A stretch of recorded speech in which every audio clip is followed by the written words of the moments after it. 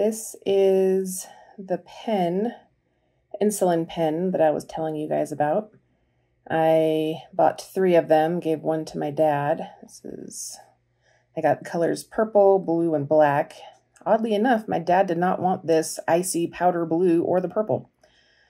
So basically, over here is how you determine how many units, because this is an insulin pen, so it goes with units, how many units you're going to do. It goes up to 60, 61, something like that, 61. And this window tells you um, how many units you're on. You can also toggle it back down in case you did too many. And then to actually inject it, you push this way until it goes all the way back down to zero. This has a spring. It hides the needle when you put a needle in.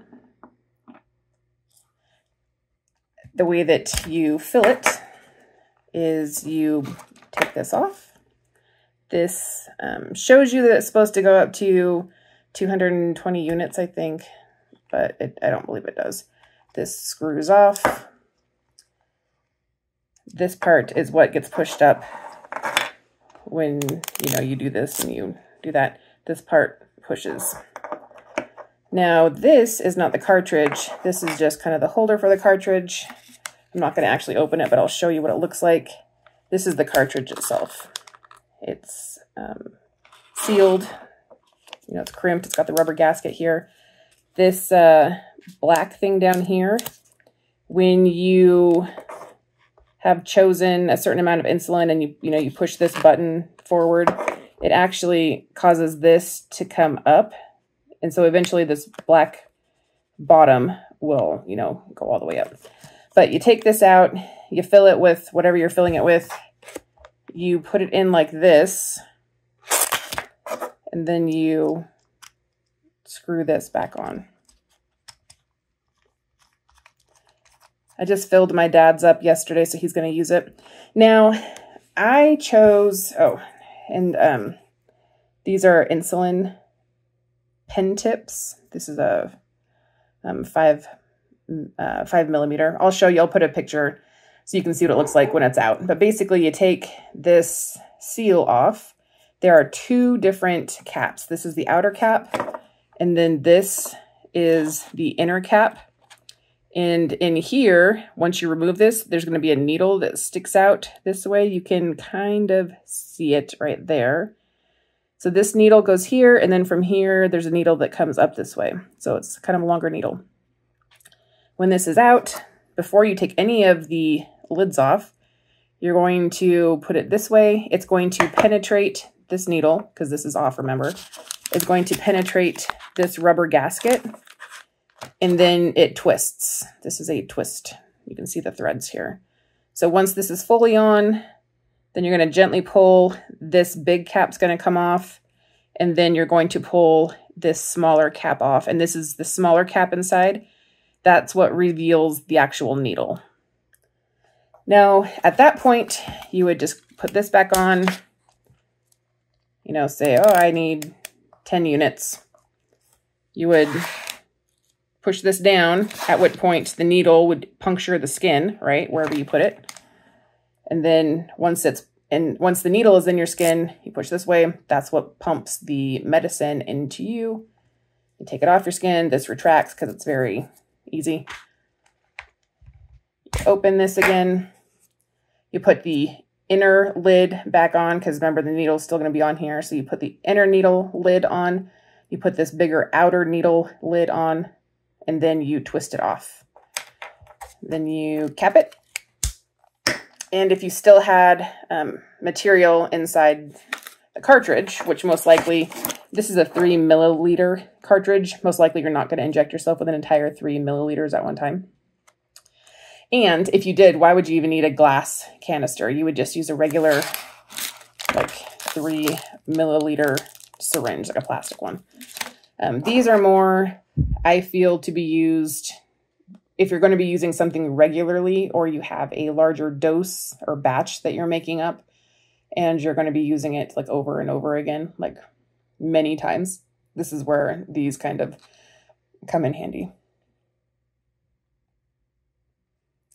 But that's what the pen needle is. When I inject myself, I'm not going to be using this. Um, a lot of people use either six or eight millimeter uh, pen tips. This one's a five. When I use when I use one of these syringes to inject myself, I use a four millimeter. Um, but five, when I've tested it, like the needle barely comes out once this is all the way pushed down. Um, so I'm just going to, when I actually do get around to using it, I'm just going to use it like this. So there'll be a needle, you know, this will be screwed on. Take the lids off. I'll just inject like this because I'm already used to doing that with a needle that I can fully see. It doesn't bother me, so I don't need to hide it. This brand, what is it? Easy Pens, I think is what it's called. E-Z Pens. And I will try to, um, oh, it's ezpsupply.com um, slash shop. They don't really have any pens um, right now for sale, but they get them all the time. And there's a lot of other insulin type pens that you can use. This is just the brand that I went with because um, people on one of my Discord forums seem to like it. But that's it. I, uh, for me, since I'm rebat reconstituting 30, um, 30 milligram vials, I typically do like a, a tens, I divide it by tens. So I would do three milliliters into a 30 milligram vial. Um, the problem with that is, so I'd be doing, let's say I'm doing 7.5 milligrams. 7.5 milligrams using that type of water reconstitution, that'd be 75 units.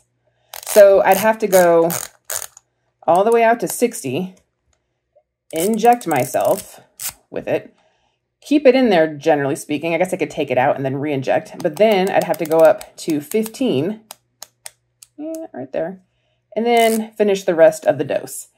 I don't want to have to do that. So what I'm going to be doing is what I did for my dad yesterday was I halved the water, the bac water that I reconstituted with. So it was a 30 milligram vial, but I did 1.5 milliliters of water. That means he'll be going to 38. It's technically 37.5, but we're just having him do 38. So he goes to 38. And that's, it looks like this is just going to be a ton of liquid, but actually when you, when you have this in and you're working with it, it just it makes it move very slowly. Like it it's it's not like this much liquid is being um you know put in which i thought was kind of interesting because i was kind of worried about that. But yeah he hasn't used his pen yet. He will be using it um i don't know in a couple days. I think he just took his last shot so he was pretty um, excited because he, for a while, he's been a lot better. But when he's been putting his pen tips or his uh, needles on these plastic syringes, he was um, bending the needle trying to get the liquid out of the vial. And then so he was having to use multiple needles. This one should be pretty easy. You know, it just clicks on, you spin, pop off, pop off, inject. So yeah, so this is that pen. I think it will be good. It's especially going to be good for folks who take either have larger vials that they're reconstituting or some people are on protocols where they need to um, inject daily. Like maybe they make, there's um, one of the forums that I'm on, these folks are mixing up, what do they call it? Pony elixir. It's kind of a, a pet name but there's a lot of stuff that goes into it. Um, and they call it pony elixir because a lot of the stuff that they are injecting with is actually being purchased from equestrian or equine um, shops because to get the same thing for a human, you'd have to have like a prescription. But if you're getting it for a horse, with a lot of things, you don't.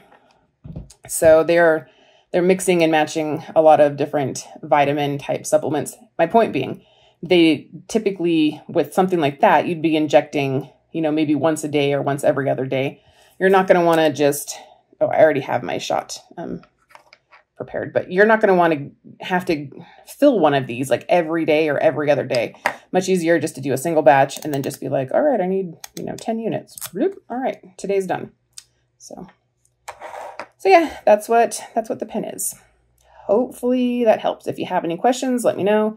I don't have any practical application use for this yet but I will in about two weeks. I'm doing a shot today, and then I'll have um, one more dose in that vial. So it'll probably be a good two weeks before I actually end up using my pens. All right, guys, hope that helped.